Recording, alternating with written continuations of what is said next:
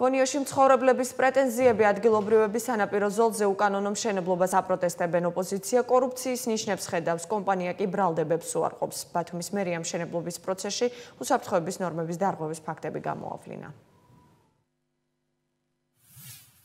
ბათუმის შემდეგ მრავალსართულიანი შენობები გონიოს სანაპირო ზოლშიც გაჩნდა მშენებლობების გამო დასახლებული პუნქტიდან სხვაზე გადასასვლელები რამდენიმე ადგილას უკვე ჩაკეტილია. აქ თვეებია, რაც ერთ-ერთი კომპანია სასტუმროს ტიპის საცხოვრებელ სახლს აშენებს. დეველოპერს კი ადგილობრივებმა ბილიკის დატოვების თხოვნით რამდენჯერმე მიმართეს, თუმცა უშედეგოდ. მათი შემოსავლის ერთადერთი წყარო სეზონზე ბინის გაქირავება, გადასასვლელის არარსებობა კი პრობლემებს უქმნით. ჩემ მეუღლეს ჰქონდა სანავე, ჩვენ სანავე დავანგრიეთ მაშინ რომ ხალხს ხალხის ევლო და სანაპიროზე გასულიყო დამსვენებელი და ჩვენ რო ვთხოვეთ რომ ჩავედით აშენებდა ერთადერთი სათხოვარი მაქვს უთხარი რომ ეს ბილიკი დაგვიტოვეთ ჩვენ.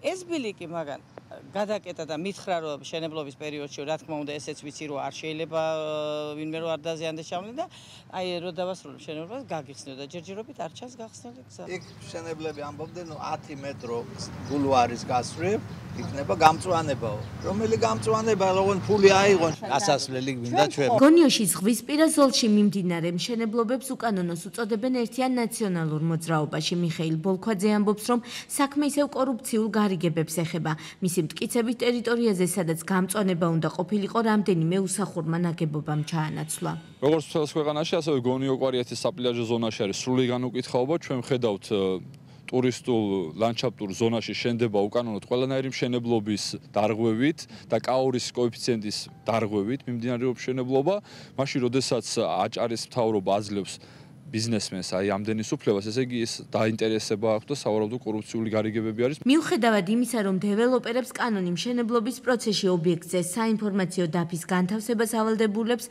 სამშენებლო პროცესიც კანონდარღვევით მიმდინარეობს. როგორც გაირკვა ტერიტორიაზე სამშენებლო სამუშაოებს კომპანია BG Trade ახორციელებს. აქ სატელეფონო საუბარში აცხადებენ, რომ მერიდან ნებართვა მიღებული აქვთ. ნონა ბაკურიძე გვარწმუნებს, რომ საინფორმაციო დაფა და ბანერები ქარმა დააზიანა. ზღვაზე გადასასვლელი ბილიკის ჩააკეტვას კი ასე პასუხობენ.